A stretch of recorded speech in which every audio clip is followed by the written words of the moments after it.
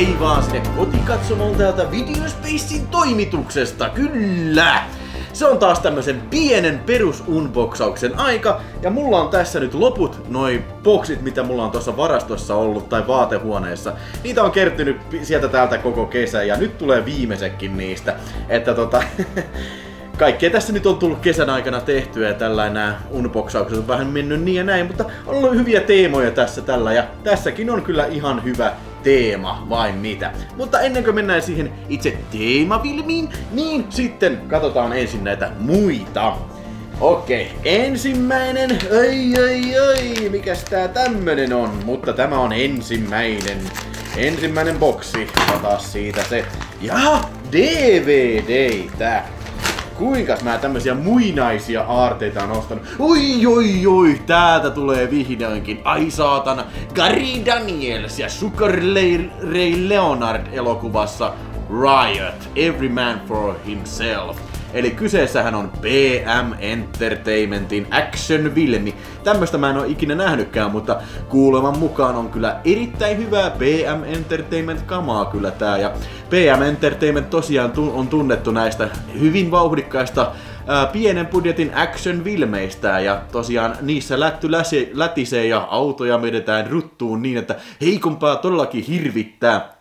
Joo, Riotti niin menee katselu ja Gary Daniels hän on tosiaan niin on, on hyvin tunnettu martial arts äijä, että se on ollut paljon näissä PM Entertainmentin filmissä, mutta myös vähän ehkä toistenkin fil- firmojen tota, tuotannoissa. Ensimmäisen tulee mieleen toi Fist of the North Star, missä se näyttelee, mutta tota, ei se nyt mikään kauhean kuuluisa elokuva on, mutta varmasti kaikille, tota, jotka ovat B-elokuva tai B-action-elokuva ihmisiä, niin Gary Daniels on kyllä tuttu nimi. Pistetään se siihen odottamaan katselua.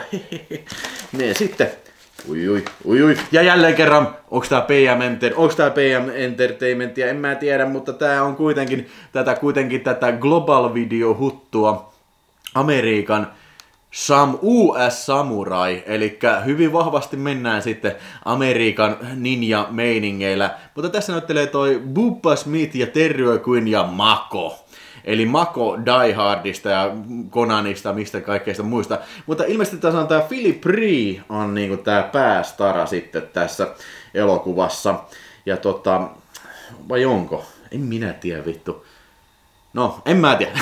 Näyttää, että Philip Ree eli Bloodsport, eikö Best of the Bestistä näyttäisi olevan tuossa kuvassa, mutta siis mulla on ollut tää vaikka kuinka kauan on ollut tota, tota, tota, vhs mutta tota, mä en ole sitä ikinä kattonut, mutta kai mä sen nyt katsoin sitten viimeistä viimeinen tästä tota, noin, niin Global Video äh, DVDltä sitten, joka on tietysti täyskuva julkaisu, mutta ne on ihan hyviä, kyllä, siihen tarkoitukseen, yes. Ensimmäinen paketti oli siinä, ja sitten tässä on tämmönen mystinen iso paketti. Mulla ei siis oikeasti mitään muistikuvaa, mitä täällä on, mutta katsotaan. VHS. Ai niin joo, niin ja niin onkin!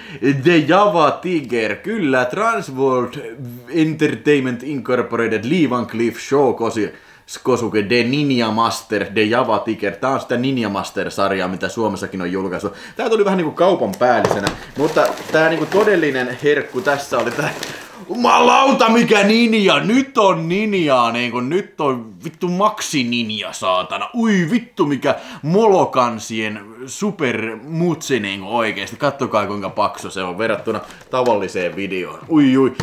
Ninja USA. Death Code Ninja. Tässä on siis kaksi elokuvaa. Tää on hollantilainen tuplapaketti. Ja tää on ilmeisesti tota... Oi oi, ui jumalauta se käy päällä sieltä. Tää on ilmeisesti Godfrey Ho-tuotantoa, tää Ninja USA ja sitten Death Code Ninja. Kaksi Ninja-elokuvaa samassa upeassa paksussa molo kansipaketissa.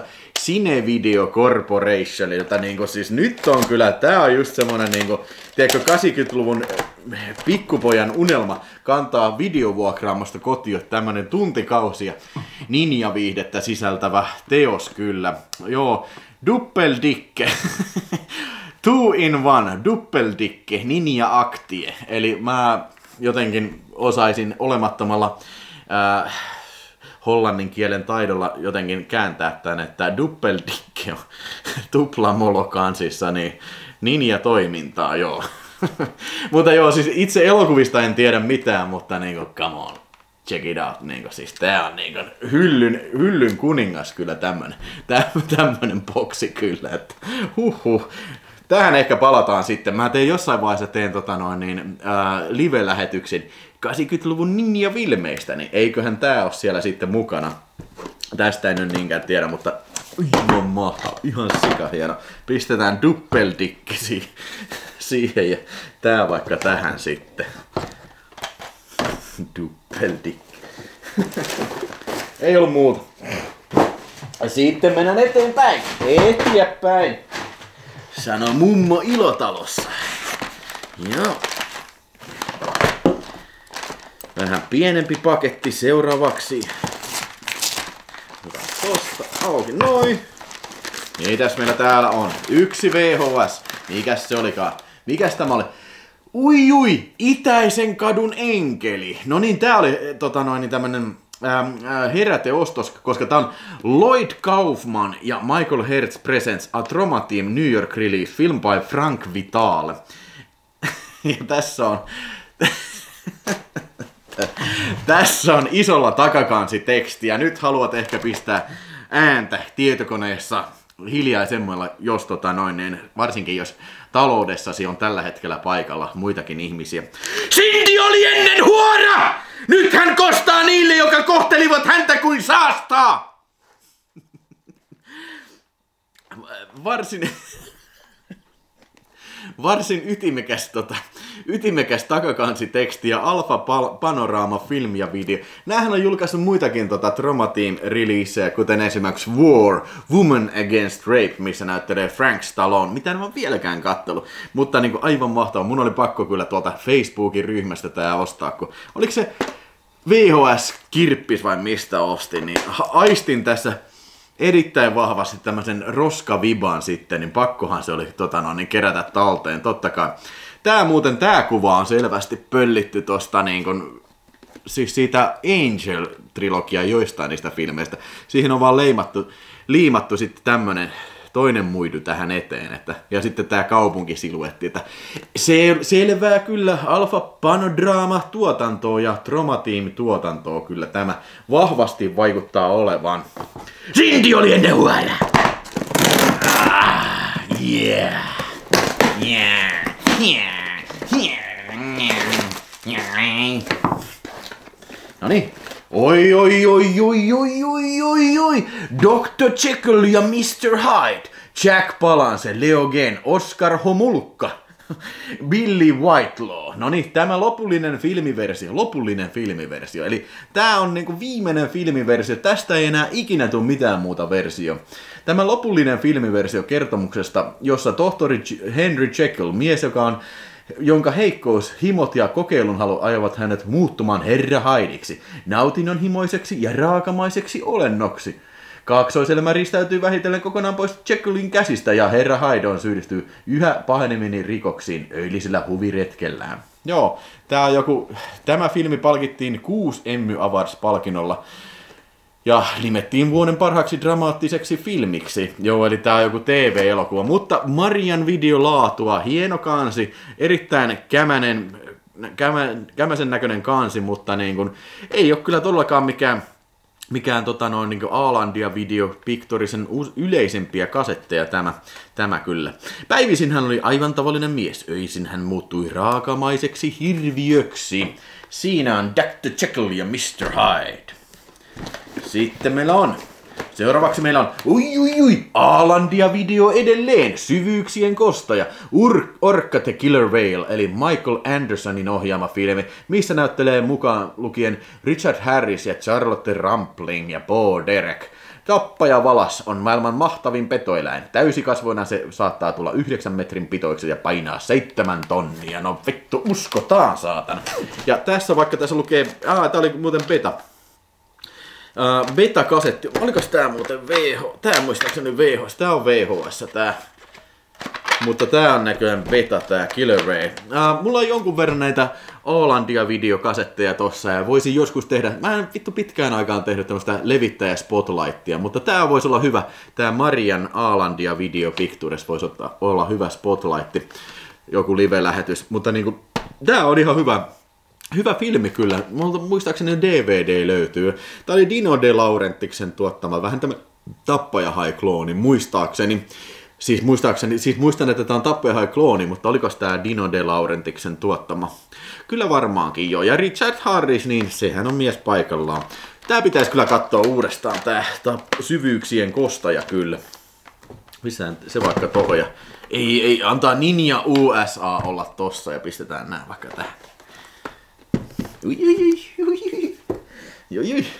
Sitten on vielä yksi filmi täällä paketissa. Ja Marianne video sieltä tulee ja moottoripyöräjengi. Tämähän on aika harvinainen näistä Aalandia Video Picturesista. Siis mulla oli tää joskus ja niin saatanan tyhmä taas olin, että vein tota niin kuin joskus vaihtoon sen. Ostin kymmenellä markalla aikoinaan tää ja nyt jouduin maksun huomattavasti enemmän tästä, tästä herkkupallerusta. Eli Captain Shank Victimora Hero. Mutta tämän myötä mulla taitaa olla about kaikki Suomessa julkaistut prätkäjengi-filmit, että niistäkin voi sitten ottaa jotain live, live-settiä jossain vaiheessa ehkä. Mutta tota, joo, kapteeni Gregory Shank palaa kotiin Vietnamin sodasta. Häntä syytetään siviilihenkilöiden surmaamisesta pienessä kylässä. Kuuluisan oikeudenkäynnin jälkeen hänet tuomitaan kuudeksi kuukaudeksi työleirille ja hänet erotetaan USAn armeijasta. Gregory ei voi paita menneisyyttä.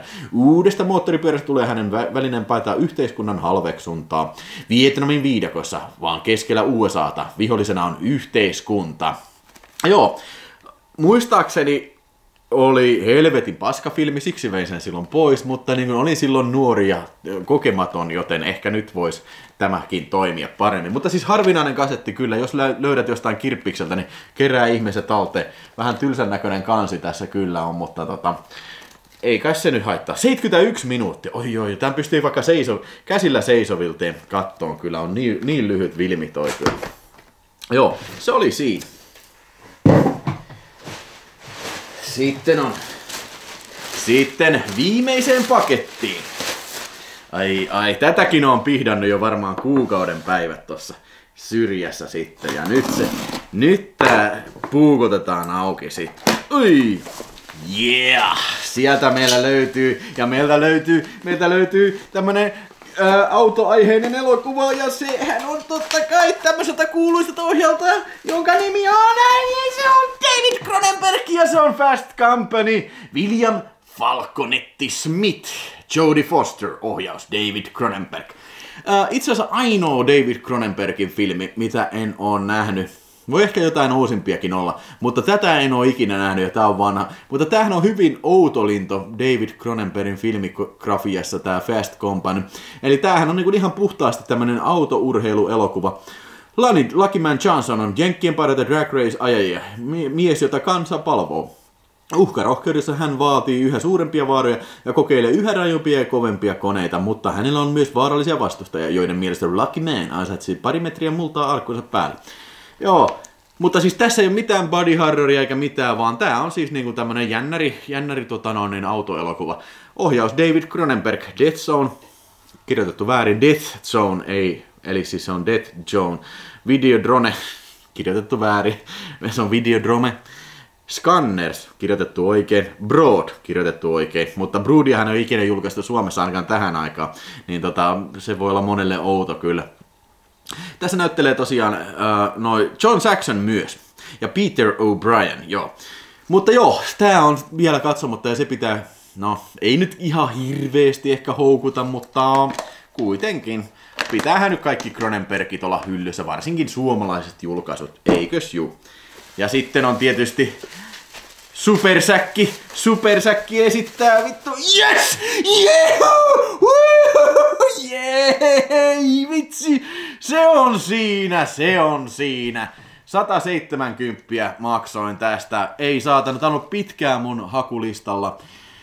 Ja nyt se on sitten vihdoinkin tää Showtimein erittäin harvinainen ää, leikkaamaton julkaisu VHS tästä ää, erinomaisesta vähän niinku tämmöistä road movie thrilleristä, eli Rutger Hauerin tähdittämä Liftari. Elokuva, joka ei varmaankaan esittelyä kamalasti kaupa, kaipaa. Se on Robert Harmonin ohjaama. Ja niin kuin sanottu, pääosissa on Rutger Hauer ja sitten to, to. Thomas Howell. Ja tämähän on aivan mahtava tämmönen jänni, jännäri kissa-hiirileikki, niin kuin autiomaalla, missä tota, tosiaan Rutger Hauer, Rutku liftaa tämän C. Thomas Howellin kyytiin ja alkaa puhua sitten, että vitti mä tapaan saatana sut. Ja sitten, sittenhän se heittää se autosta pihalle ja sitten se kuitenkin se jahti, ei, se ei ole siinä, vaan sitten vasta se peli alkaa. Että tämmönen vähän niin kuin Road Games-tyylinen kissa ja hiirileikki. Siis tässä on tämmönen, mun mielestä tämmönen tosi mysteerinen tunnelma, että nämä kaksi miestä, niin näillä näillä selvästi niin kuin on joku tämmöinen telepaattinen yhteys, että onko se hyvä ja pahan niin kuin, taistelu ruumiillistelma tässä niin kuin maantiellä, vai onko tämä niin kuin vaan painajaisunta sitten tämä, tämä elokuva sitten, mutta niin kuin erinomainen filmi, yksi 80-luvun klassisimmista näistä thriller-elokuvista kyllä, ja tämä on todella harvinainen kasetti, siis vaikka tämä on varmaan aikaisemmin ollut tosi yleinen, mutta niin kuin, vittu en ole nähnyt, tätä on etsinyt vuosikausia ennen, yes, nyt se on, yes, yes, yes, yes, yes, se on vielä, vihdoinkin on tää täällä. Ja hei, Tota, tästähän on julkaistu kyllä uudempi DVD. Sitten itse asiassa tämä on julkaistu kahdestikin Suomessa DVDllä. Future-filmin käppä DVD. Ja sitten on se, tota, oliko se Sandrew Metronomen tämä tää tupla DVD, ne on julkaistu. Ja tästä on nyt tulossa Blu-ray tuolta UKssa Second Sight'ilta. Mutta ne sanoo, että tota, ne ei saa tästä tehtyä niin kuin semmoista niin kuin 4K-skannia, koska yksinkertaisesti ilmeisesti lukuisista yrityksistään huolimatta Second Sight ei vaan pystynyt löytämään niin kuin tähän niin kuin semmoisia kunnollisia niin kuin masterprinttejä, siis tämmöistä niin kuin ne, original kamera negatiiveja ei vaan löydetty, joten ne, on käy, ne on joutunut käyttämään useampia 35 millisiä niin kuin tämmöisiä teatteriprinttejä, ja niistä valitseen parhaim, parhaimmat palat, niin kuin siis, että siihen, että miten ne masteroi. Ei mikään paras lähtökohta, mutta ilmeisesti, ellei nyt jotain ihmettä tapahdu, että jostain tämä tämmöinen 35 millinen kamera negatiivi ilmestyy, niin se on varmaan se, mihin meidän täytyy sitten lopun iäksi tyytyä. Se on kyllä kummallista, että luulisin, että tämäkin elokuva on tota noin niin, uh, siis kamalan niin kuin, siis olisi semmoinen, mikä olisi arkistoitu hyvin, niin kuin holviin pistetty nämä negatiivit, mutta ilmeisesti ei. Tämä on Handmade Films 85 vuodelta, Handmade Films tuotantoyhtiön tuottama, ja Canon Group on levittänyt sitä tota, Euroopassa ainakin.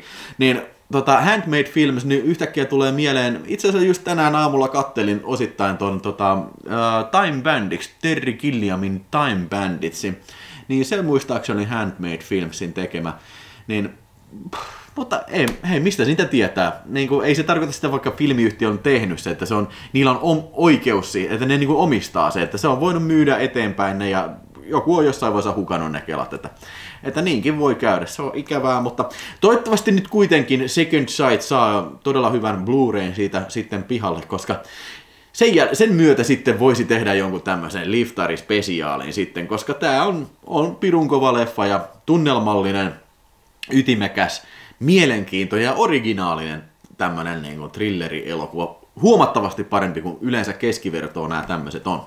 Että niin kuin, jos et ole ikinä nähnyt Liftaria, niin siis se, se on pakko nähdä. Se on pakko nähdä kyllä. Ja pff, Rutger Hauerin tota, monipuolisesta urasta siellä on paljon hienoja kohokohtia, mutta kyllä mä sanoin sitä, jos ei se ole Roy Batti, niin kuin Rutgerin uran kohokohta, niin se on pakko olla sitten tämä The Hitcher kyllä sitten. Mikähän sen nimi on? Sanottiinko tässä? No, en mä tiedä.